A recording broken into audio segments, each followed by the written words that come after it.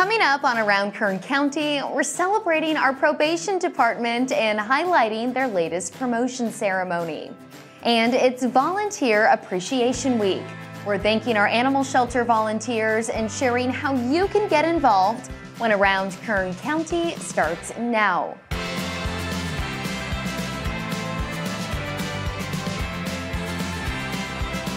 Welcome to this week's Around Kern County. I'm your host, Ali Soper. We're kicking off this week's show by honoring the hardworking men and women of our probation department. This month, they celebrated a promotion ceremony in our board chambers in recognition of their employees' commitment to a safer community. I want to congratulate each of the people who have recently been promoted. Kern County's probation department is a local agency that's truly making a difference. By reducing criminal behavior and recidivism, probation staff have one of the most important missions in society as they seek to provide accountability and opportunity to those who have had a negative impact on our community. Our probation staff works diligently to help our youth and adults earn a second chance and become productive, law abiding citizens through a series of outstanding programs and services. We want to commend these incredible members of our workforce for their diligence, love, and hope. To learn more about their everyday impact, follow them on Facebook by searching Kern County Probation Department. This month, Public Health has been educating and supporting our community through Food Insecurity and Malnutrition Month. This is part of their 2024 campaign, A Healthier Kern, One Heart at a Time.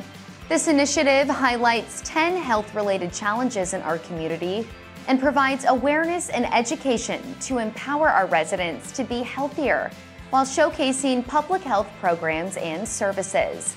To help address hunger and malnutrition right here in Kern County, Public Health has launched the Waste Hunger Not Food campaign.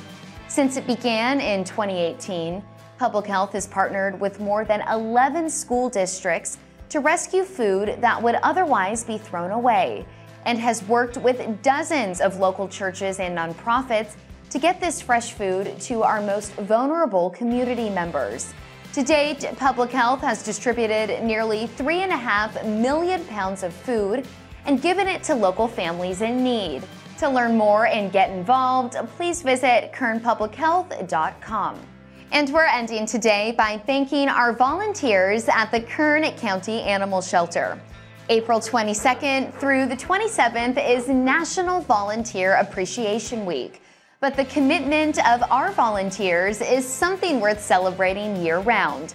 Our Animal Services Department could never care for as many sweet pets if it wasn't for the time, love, and service of our dedicated community members. You know, you would think volunteering at an animal shelter just means you're cleaning up after dogs and cats, but uh, honestly, we have so many tasks that they help us with. Yeah, of course, we have volunteers that come in. Some of them are cat people, some of them are dog people, some of them prefer puppies, some of them prefer large dogs, and um, they can clean and provide daily maintenance. But then we have people that are allergic to cats and dogs and can't be anywhere near them. Well, they might be answering phones, or they might be a door greeter, or they might be helping us canvas out in the community. You know, every every last one of the uh, hundred or so volunteers that we've had this last year that's donated almost 7,000 hours um, this fiscal year. Um, I mean, we're grateful for every one of them, and they do so much. If you'd like to volunteer, please visit kerncountyanimalservices.org. And that does it for us on this week's Around Kern County.